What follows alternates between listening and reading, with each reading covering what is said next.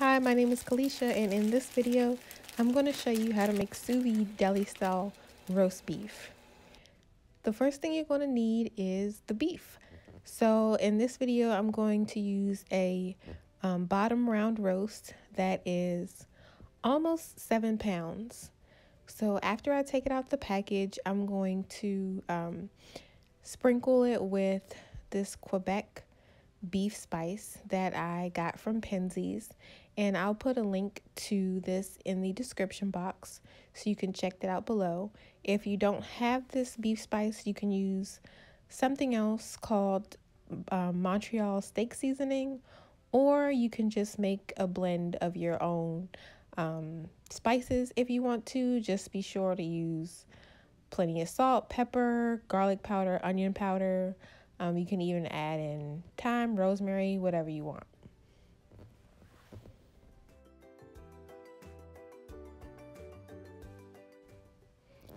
You want to make sure that the beef is covered with the seasoning on all sides.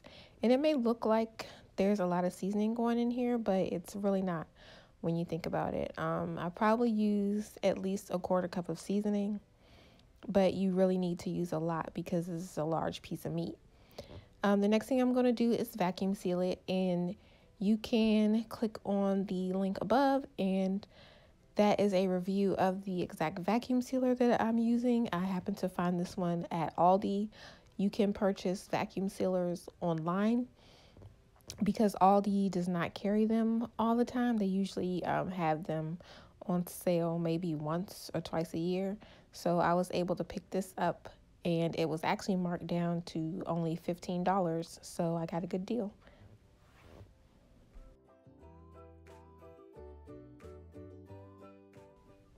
Now that the meat has finished sealing, I'm just going to double check to make sure that the seal is nice and tight so we don't have any leakage during our cooking process because I am going to be cooking this for a full day.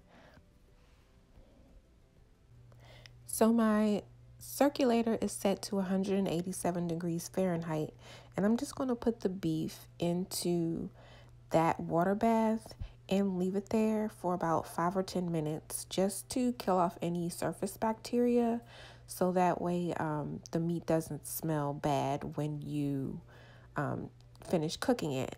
Now I'm just going to take out the water after it was left in the higher temperature. I'm going to take out some of the water and add some ice so that I can rapidly chill the water bath down to 140 degrees because I want to cook this the the rest of the time. So I'm going to be cooking it for 24 hours at 140 degrees. So I just added ice to it so it can get down to 140 a lot faster. And if you'll notice I set um, my circulator to 26 hours. Although I'm only cooking it for 24 hours, I just set it to 26 hours just in case um, I'm not able to take the meat out right away because this particular circulator, it does not continue to run after the cooking time is over. It just shuts off. So I wanted to be able to shut it off myself. So I always add like a few extra hours depending on what I'm cooking. So now I'm just unplugging it um, after I take the meat out.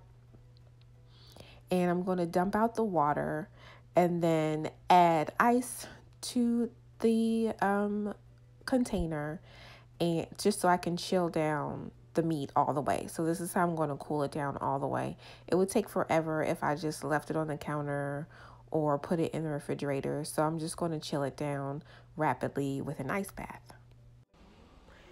Now that the meat is all cooled off, I'm just going to cut a corner off of the bag and pour out all the juices that have accumulated.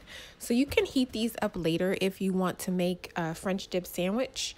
So um, I got about two cups of juice from this roast.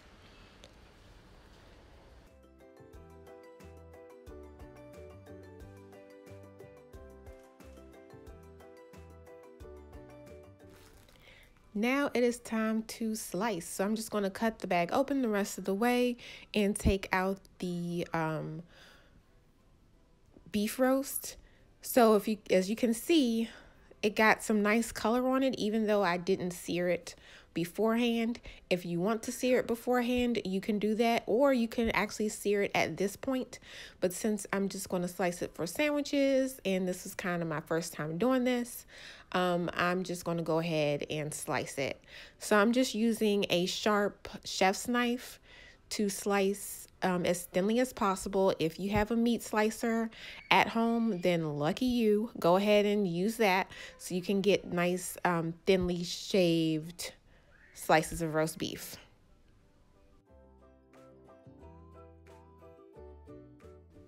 This sous vide deli style roast beef is still nice and rosy in the middle. But if you want to cook yours um, a little bit more than what I've done here, then you can always adjust the temperature to be higher so that it's not as pink. It's just a personal preference. And when it's done and all sliced up, you'll be able to make nice sandwiches, French dips. You can cut it in thicker slices or cut it in cubes to make stir fries, beef stews, and a lot more. If you like this recipe, then please consider subscribing and be sure to check out my sous vide getting started guide. It's a free PDF download and I'll include the link right here so you can check that out and download it so you can know all of the equipment and tools that you need to get started cooking with sous vide. See you in the next video. Bye.